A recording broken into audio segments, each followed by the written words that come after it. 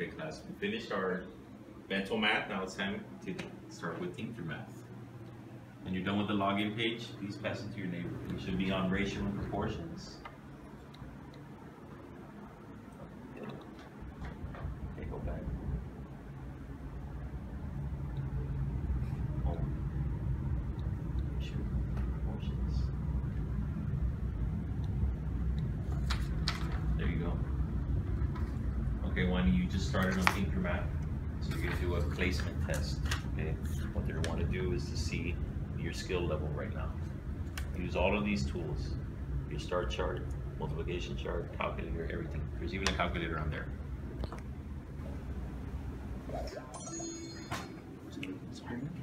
Okay. What do we need to find out? What is that usually called? When someone asks you Question? question, okay, so what does the question say? How far would he travel? He's talking about a runner, right? So what do they want to find out? How far would you travel? So click the sentence. Ah, Wrong sentence. Click the other sentence. There you go. That's the question. Check it.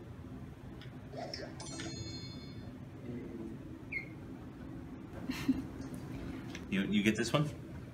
Yes, tienes que como. Yeah, 8 como times what is 48? 48? 6. What gives you 32? 4 times what? 3. 8. No. Yes. Ah. Oh, good one. What times 3 will give you 21? No, 7.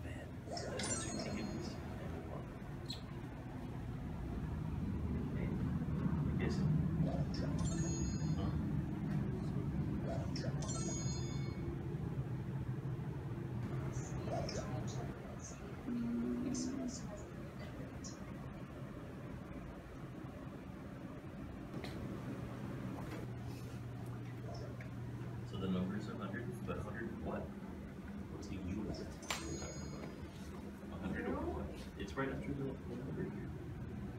100 what? meter. They have to type in the word. Okay, put it. You see, 100 meters, what, how do you describe that? What was that? You ran 100 meters, right? So that's a what? How do you describe meters? It's something that you measure, right?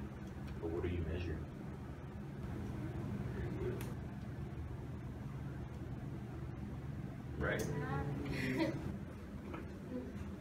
Okay, that is what? Where is that in this, in the paragraph? Hundred sixty thousandths minutes.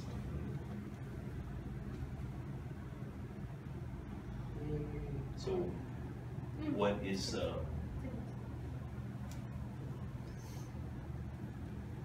Ah, not seconds, but what? You put minutes, I know, but wait. So where does it say minutes? It's all good.